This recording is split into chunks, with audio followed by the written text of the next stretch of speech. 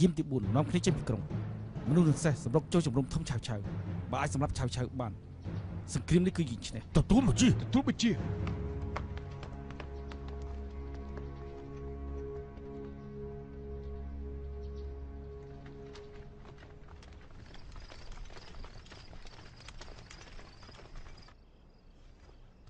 លោកម្ចាស់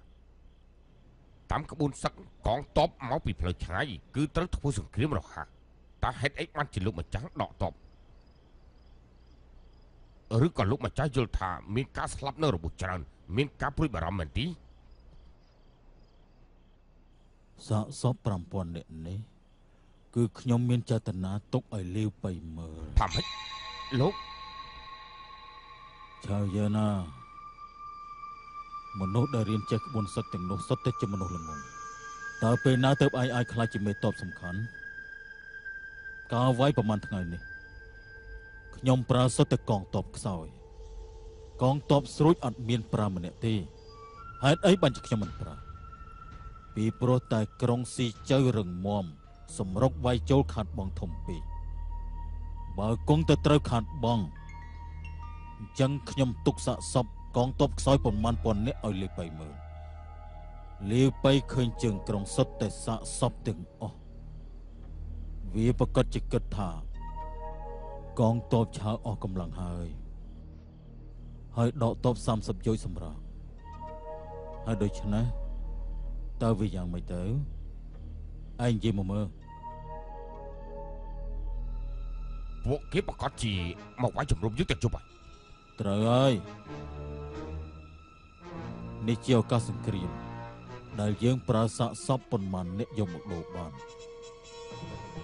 យើងចាំបាច់ត្រូវតែបញ្ឆោតឲ្យលើពេជ្រចេញពីក្រុងទើបពួកយើងអាចកម្ចាត់វាបានខ្ញុំបាត់យល់ហើយហឹមយប់នេះនឹងយប់ស្អែកជាពិសេសគឺយប់នេះត្រូវតែបន្ថែមកម្លាំងការពារចំណែកការរៀបចំអន្ទាក់បកលឯងវិញចុះណាខ្ញុំដេកហើយឯងទៅវិញចុះទទួលបញ្ជា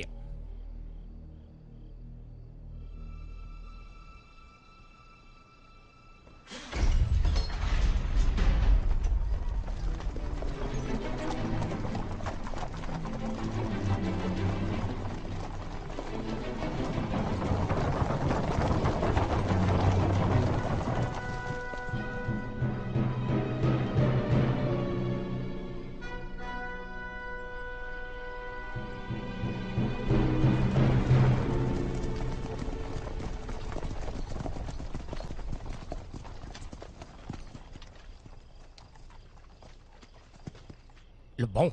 លបងមើលនោះជំរុំចង់មើលគ្មានកងតបការពារទេពួកយើងបាច់ចូលទៅជប់សិនហេតុអីក៏សំបីតែទាហានដើរល្បាតក៏គ្មានដែរនោះកងតបឆាឆាតឹងរឹងខ្លាំងណាស់មិនអាចសំបីតែអ្នកដើរយាមល្បាតក៏គ្មាននោះទេ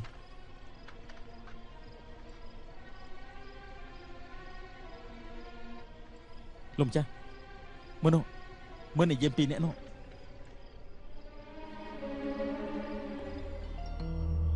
មើលទៅកងតបឆាឆាដូចជាអស់កម្លាំងពេកហើយដូចជាមិនសមសោះលបងធំតោះខ្ញុំសម្រុកចូលទៅអ៊ីទៅជូឡុកតើពួកឯងមានឃើញជំរំធំនោះទេគឺប្រកាសជាកងតបកណ្ដាលរបស់ឆាឆាបើខ្ញុំចេញបញ្ជាឲ្យពួកឯងសម្រុកចូលទៅច្បាស់ជាសម្រាប់ឆាឆាឲ្យតែយើងអាចសម្រាប់ឆាឆាបានកងតបយើងប្រកាសជាបានជោគជ័យទទួលបញ្ជាចូលប្រងព្រៀប សម្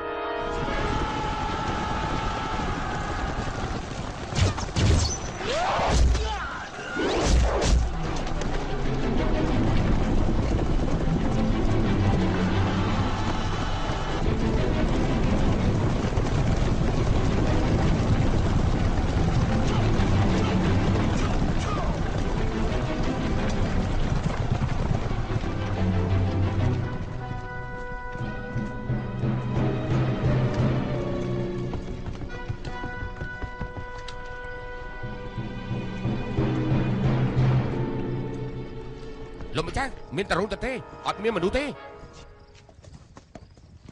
លោកម្ចាស់កន្លែងនេះក៏អត់មានមនុស្សដែរ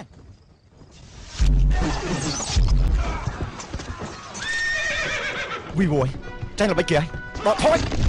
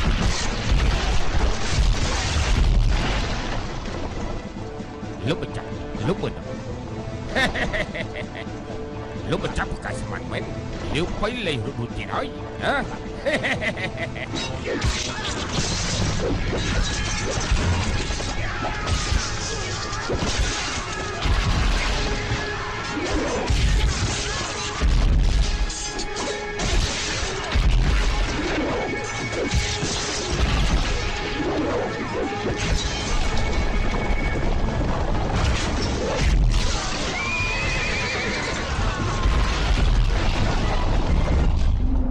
ទ្ធផលចេញមកហើយតើស៊ីឈូទៅយកស៊ីជ័យជាមួយខ្ញុំ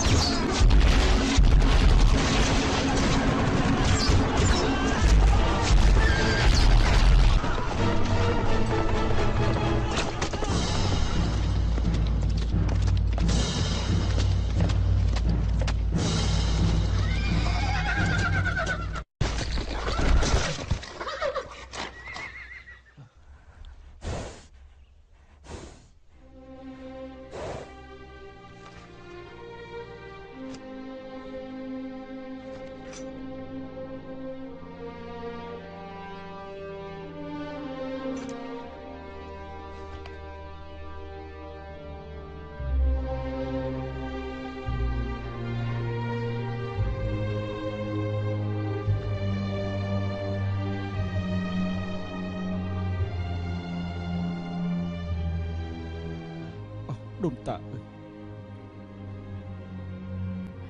លាបបីខ្ញុំពិតជាឆាតសិនណាស់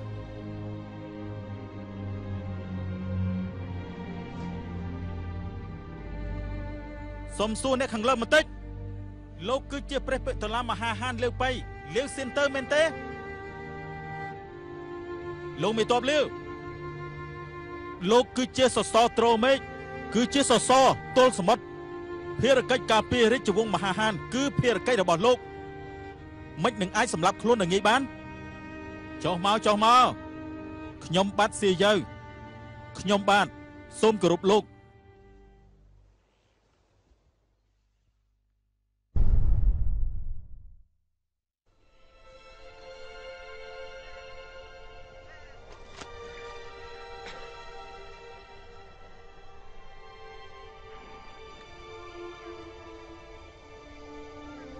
ស៊ីយើក្រែងយិនសៅគាត់មិនព្រមចេញតបទេហើយនៅដាក់ទោសលោក20ដំបងទៀតត្រូវហើយពិតជាមានរឿងចឹងមែនចុះហេតុអីបានជាលោកមកដល់ទីនេះសៀនតើនិយាយទៅលោកប្រហែលជាមិនជឿខ្ញុំទេខ្ញុំទំមិនត្រូវវាយ20ដំបងហើយភ្លាមនោះស្រាប់តែកូនប្រុសសំណប់ចិត្តរបស់លោកម្ចាស់ស្រាប់តែចេញសម្លេងយំដឹងខ្លួនឡើងវិញពេលនោះ លោកម្ចាស់ខ្ញុំគាត់សប្បាយចិត្តខ្លាំងណាស់ហើយគាត់ក៏បីកូនរត់ចេញពីជំរំមកសុំទោសខ្ញុំមិនដាច់ពីមាត់ទេ ហើយនៅប្រទៀនមេឲ្យខ្ញុំ200តម្លឹងថែមទៀតអីណោះ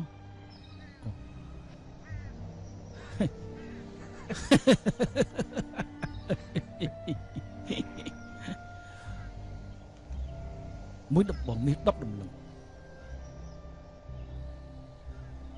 សំណាស់នេះពិតជាសំណាស់សំណាស់ សិនតើខ្ញុំប្រាប់លោកតាមត្រង់ទៅចុះលោកម្ចាស់ខ្ញុំគឺជាមនុស្សបែបនេះឯងឲ្យតែកូនប្រុសគាត់ជាវិញគាត់ក៏ខ្លាយទៅជាស្មារតីស្វាហាប់ព្រាមបំពេញទទួលយកយោបល់ខ្ញុំភ្លាមចាត់យានលៀងដឹកនាំកងទ័ពមួយសែននាក់ទៅវាយស៊ីឆានចំណែកខ្ញុំដឹកនាំកងទ័ព5000នាក់មកមុនគឺមកទីនេះដើម្បីស៊ើបសភាពការនៅស៊ីចៅ។ នេះគឺជាព្រំលិខិតនេះគឺជាព្រំលិខិតទេវតាជួយឆៅឆៅតែមិនជួយលាវបៃទេយ៉ាងម៉េចលោក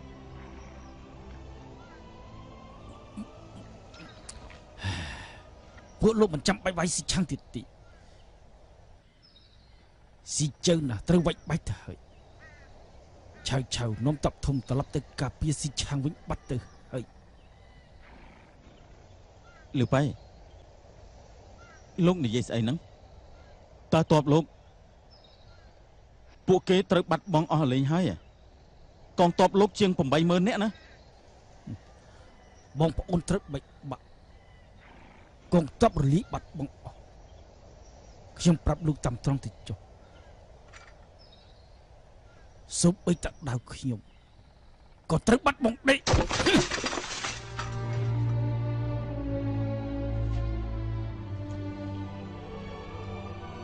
ស្មើមកដល់ថ្ងៃឆៅមឹងទៅនេះប្រកាយយ៉ាងនេះសិគេដូចជាពូកែពេកហើយខ្ញុំដាច់ខាតមិនលើកលែងឲ្យអាក្បត់នោះទេឲ្យតែខ្ញុំនៅមានដង្ហើមចេញចូលខ្ញុំសុំសបត់ត្រូវតែសម្លាប់ឆាវឆាវ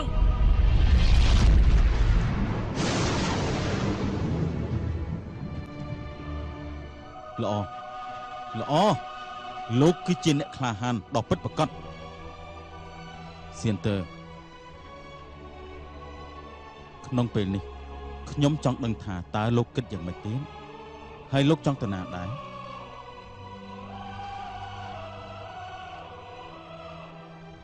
សៀនតើខ្ញុំមានគំនិតមួយ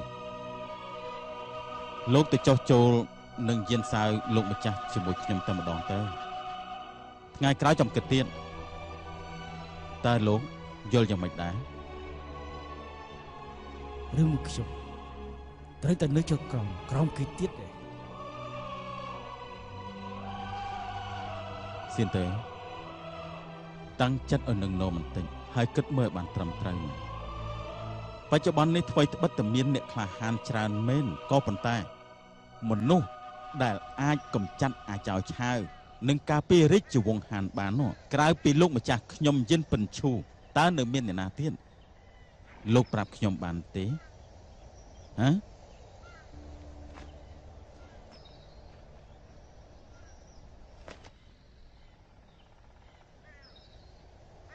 ខ្ញុំសូមអរគុណលោកដែលជួយណែនាំខ្ញុំស្ម័គ្រចិត្តចុះចូលជាមួយលោកម្ចាស់យានល្អ ល្អ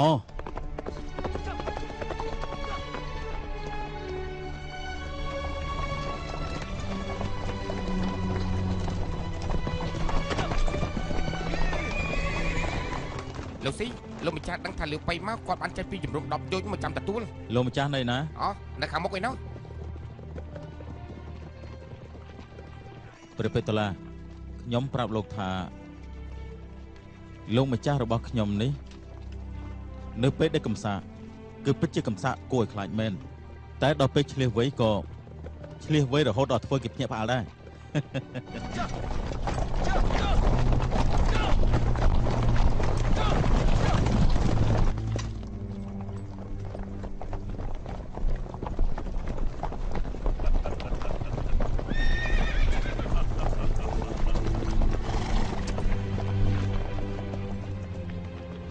លោកម្ចាស់ ព្រះពេទ្យតឡាលឿមកដល់ហើយមេតបប្រាជិលៀបបីសូមគ្រប់លោកមេតបយានអឺព្រះពេទ្យតាឡាលាវក្រោកឡើងហ៎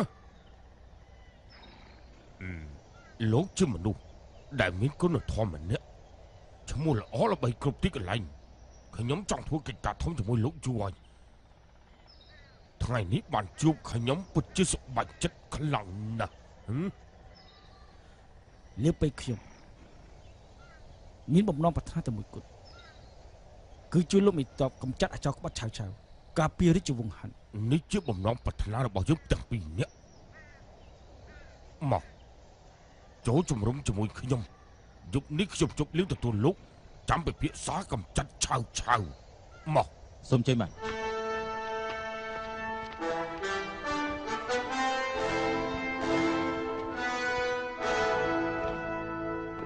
លោកម្ចាស់កងទ័ពភាគច្រើនរបស់លាវប៉ៃត្រូវកំចាត់ចោលអស់ហើយអ្នកដែលចោះចូល30000នាក់នោះសិតតែកងទ័ពចាស់របស់ពួកយើងនេះលោកអ៊ុបប្រាច់តបជាមួយរបស់យិនសាវមកដល់ចម្ងាយស៊ីចៅ30យោជន៍បានដកថយទៅវិញអស់ហើយលោកអបរាជពេលនេះសៀវភ័យត្រូវខ្ញុំយកបានហើយមានតែសៀវភីទេដែលនៅក្នុងដៃគុនអ៊ីលោកម្ចាស់សៀវភីគឺជាក្រុងឯកោមួយទៅហើយ កងទ័ពប្រកាសជាគ្មានកម្លាំងប្រយុទ្ធទេខ្ញុំស្ម័គ្រចិត្តដឹកនាំកងទ័ពស្រួចមកកងក្នុងរយៈពេល5ថ្ងៃវាយយកឲ្យបាន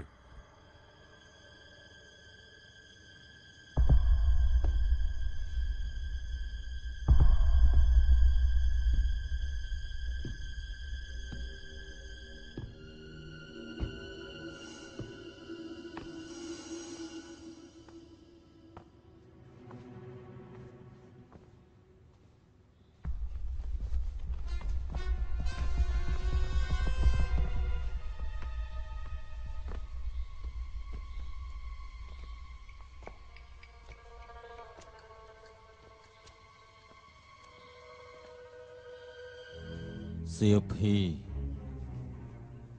គឺជាគួនអ៊ីយាន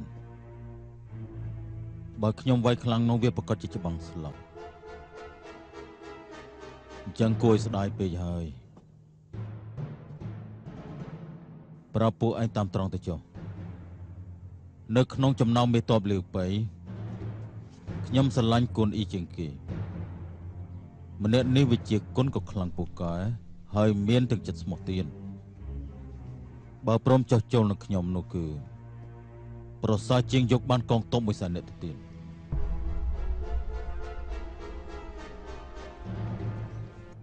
លោកម្ចាស់ខ្ញុំមានល្បិចមួយប្រហែលជាអាចប្រើបាននិយាយមកមើល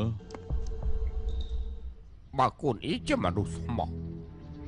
ចំពោះមនុស្សបែបនេះมันអាចប្រើកម្លាំងបាច់បានទេ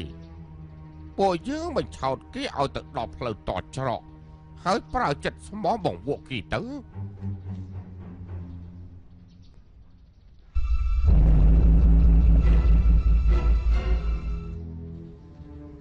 លោកម្ចាស់អត់មានដំណឹងជាង10ថ្ងៃហើយខ្ញុំមិនដឹងថាស្ភាពកាយយ៉ាងម៉េចទេបើថ្ងៃនេះនៅតែអត់មានដំណឹងពីគាត់ទៀតខ្ញុំនឹងចេញលោកមីតុកកុំតកកហល់ពេកការពិតអត់មានដំណឹងល្អអីទេបញ្ជាក់ថា ក្រុងនៅក្នុងដៃលោកម្ចាស់នៅឡើយកងទ័ពឆៅដកទ័ពហើយហេតុអីតើជាលៀបឬក៏ជាគ្រូលោកមីតុកមើលណោះទីនោះមានកងទ័ពសេះប្រមាណអ្នកមើលទៅដូចជាកងទ័ពរបស់យើងអញ្ចឹងបើកធ្វើក្រុងឲ្យពួកគេចូលមកឲ្យចាប់ឡើងបើកទ្វារក្រុងទៅវាក្រម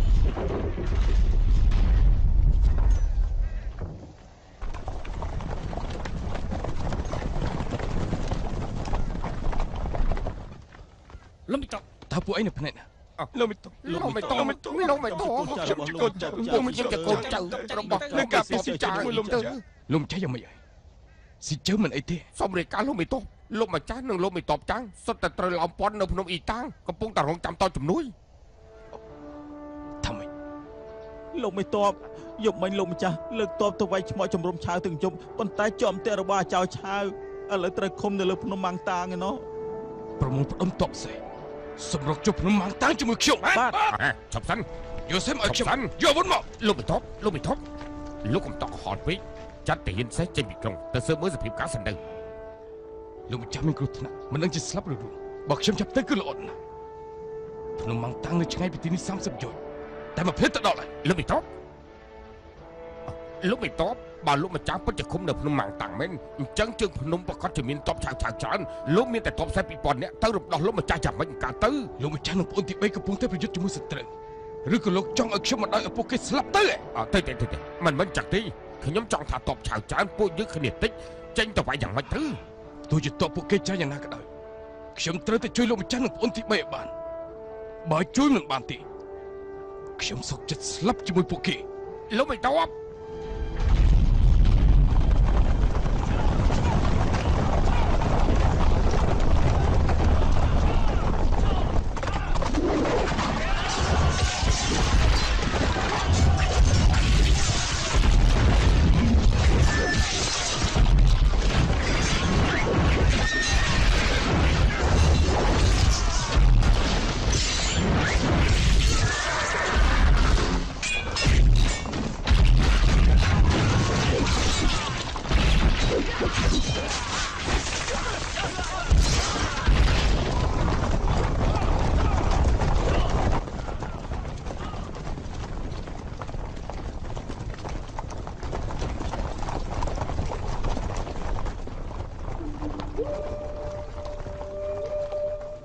លោកមិនតបមើលទៅទីនេះដូចជាធ្លាប់ច្បាំងគ្នាមែនលោកម្ចាស់ប្រហែលជាមានគ្រោះថ្នាក់ហើយសូមរាយការណ៍យ៉ាសូមរាយការណ៍លោកមិនតបលើភ្នំរកសពអស់ហើយតែនៅតែអត់ឃើញលោកម្ចាស់យើងទេ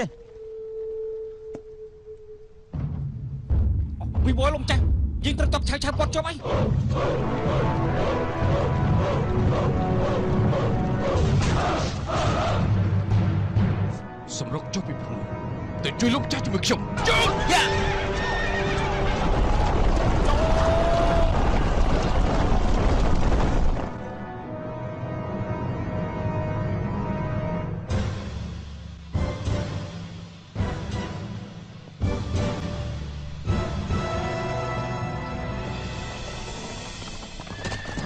អាមេរិកា លោកម្ចាស់គួនអ៊ីងសម្រុកចេញ3លើកហើយសិតតែត្រូវពួកយើងរៀបរៀងពួកគេរបួសនឹងស្លាប់ច្រើនណាស់មើលទៅលែងមានកម្លាំងសម្រុកចេញទៀតហើយបើភ្នំអត់មានប្រភពទឹក តាមខ្ញុំយល់ពួកកូនអ៊ីទ្រាំមិនបានយូរទេចង់លាវបាត់លោកម្ចាស់ខ្ញុំលើថាទំនាក់ទំនងឯងនឹងកូនអ៊ីល្អគួរសមតើមែនទេបាត់គួនអ៊ីងជាមនុស្សស្មោះត្រង់វិជាគុណខ្លាំងពូកែខ្ញុំនឹងគេជាមិត្តចាស់ ខ្ញុំចង់ខានឯងឲ្យឡើងភ្នំបញ្ចុះបញ្ចូលកូនអ៊ីឲ្យចុះចាញ់យ៉ាងម៉េចដែរលោកម្ចាស់ខ្ញុំមិនហ៊ានទទួលបញ្ជារបស់លោកម្ចាស់ទេហឹមហេតុអីទៅខ្ញុំយល់ពីចរិតគេគួនអ៊ីជាមនុស្សដែលស្ម័គ្រចិត្តច្បាំងស្លាប់នៅក្នុងសមរភូមិមិនព្រមចោះចាញ់ទោះជាខ្លួនខ្ញុំមានមាត់ច្រើនក៏ដោយក៏មិនចុះបញ្ចូលគេមិនបានដែរលោកមីតបវិនជីនស្ដាប់ខ្ញុំនិយាយមួយម៉ាត់ទៅបើកូនអ៊ីងពិតជាច្បាំងស្លាប់មែនហេ លោកស្ដីឲ្យគេថាបើឯងស្លាប់នឹងមានទោស3យ៉ាងតែបើមិនស្លាប់ទេ គឺមានប្រយោជន៍3យ៉ាងហ៎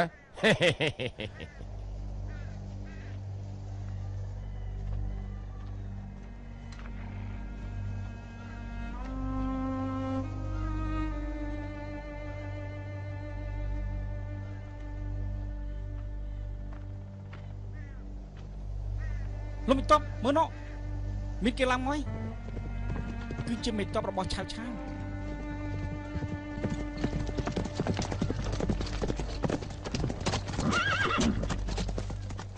លបងវិនយានលបងមកច្បាំងជាមួយខ្ញុំឬក៏មកជួយមិនមែនទាំងអស់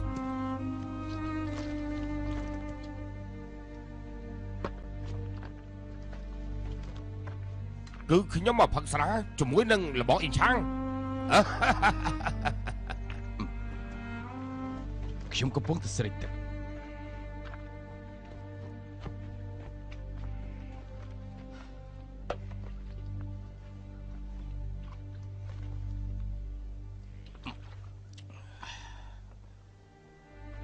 ស្រាល្អស្រានេះ គឺលោកអបរាឆៅជូនបងជាពិសេសណាស់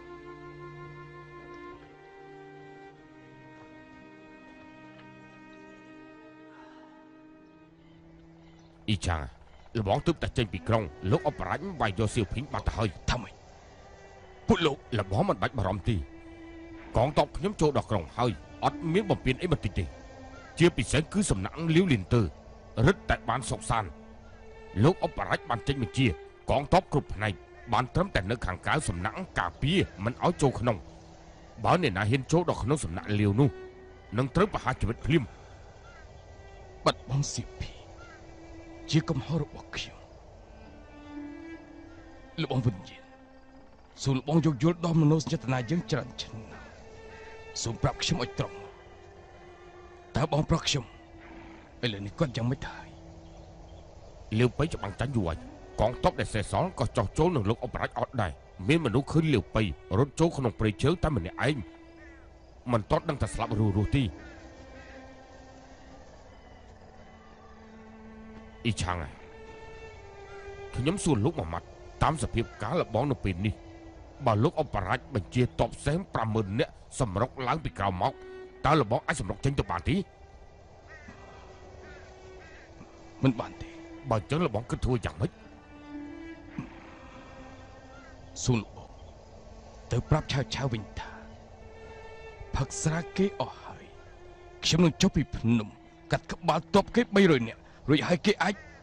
មកយកក្បាលខ្ញុំបាន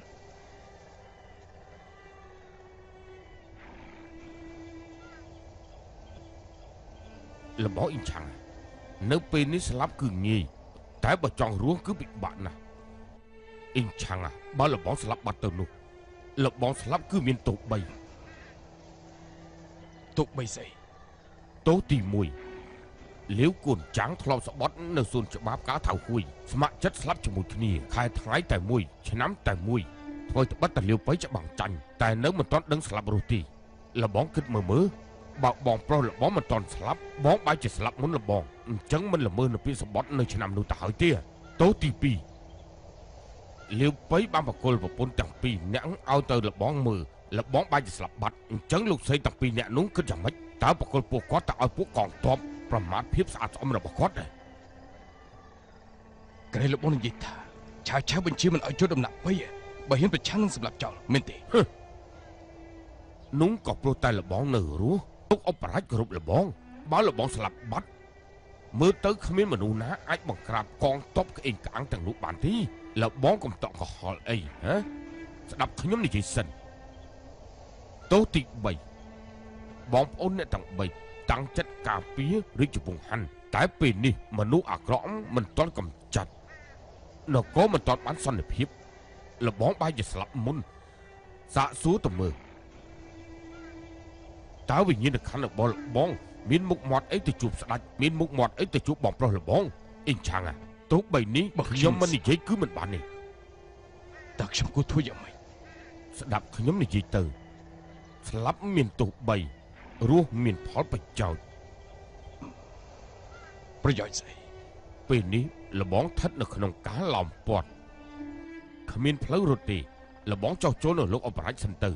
ចាំថ្ងៃក្រោយទទួលបានដំណឹងរបស់លាវប៉ៃហើយចាំទៅរកគាត់ក៏បានដែរនេះហៅថារស់មានផលប្រយោជន៍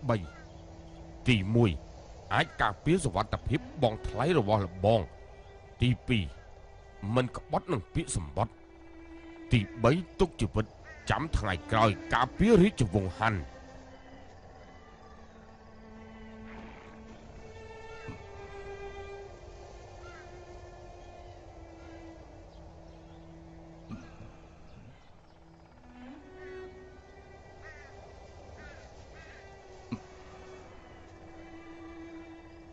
មានហេតុផល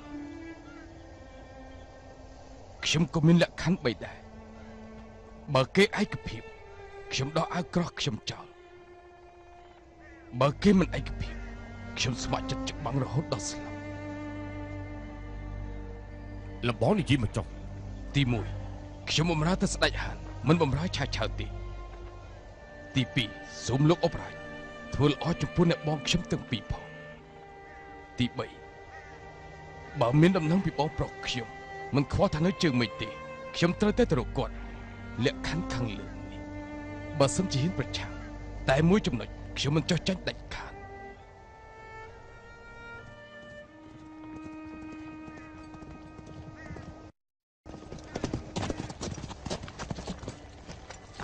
វិនយានយ៉ាងម៉េចទៅហើយលោកអបរាជគូនអ៊ីគេនិយាយថាបើចង់ឲ្យគេចុះចាញ់គឺមានលក្ខខណ្ឌ3ហឹមនិយាយមកមើលទី1គេបំរើតែស្ដេចហាន់មិនបំរើលោកទេ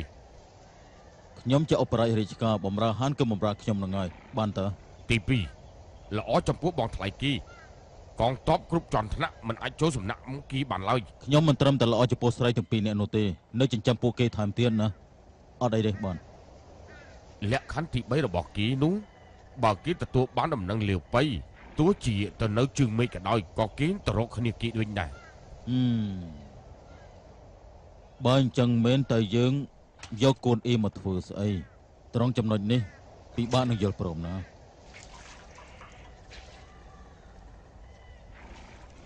លោកអប្រាជ្ញតាមខ្ញុំយល់លាវប៉ៃគ្រាន់តែមានគុណចំពោះកូនអ៊ីងប៉ុណ្ណោះបើលោកអប្រាជ្ញមានគុណចំពោះកូនអ៊ីរឹតតែច្រើនយូរយូរទៅកូនអ៊ីប្រកាសជាផ្លាស់ប្ដូរគំនិតម្យ៉ាងទៀតលាវប៉ៃមិនដឹងថាស្លាប់ឬក៏រស់ផង គេប្រហែលជាស្លាប់បាត់ហើយហឹម ឯងនិយាយត្រូវមនុស្សលោកដឹងតែពីអំណាចរបស់ខ្ញុំទៅប៉ុណ្ណោះមិនដឹងថាចិត្តល្អរបស់ខ្ញុំគឺធំជាងអំណាចទៅទៀតនោះទេលក្ខខណ្ឌទាំង3នេះខ្ញុំឯកភាពអរគុណលោកអប្រាជ្ញបានសពផ្សាយមជាតិដកតប10យោជឲ្យកូនអ៊ីចុះពីភ្នំត្រឡប់ទៅក្រុងលោកអប្រាជ្ញរឿងនេះធ្វើឲ្យគេបារម្ភណាស់កូនអ៊ីចុះចាញ់ក៏ចុះចាញ់ទៅលោកអប្រាជ្ញមិនបាច់ប្រឡែងគេទៅក្រុងវិញហេតុអីទេទៅ បើកូនអ៊ីឆ្លៀតឱកាសរត់អញ្ចឹងគឺដូចជានាងចូលសមុទ្រធំអញ្ចឹងនេះគឺជាគុណធម៌ទី1ដែលខ្ញុំផ្ដល់ឲ្យវានោះឲ្យវាត្រឡប់ទៅស្រុកវិញខ្ញុំជឿថាកូនអ៊ីមិនក្បត់នឹងពាក្យសន្យាទេតើត្រូវទេ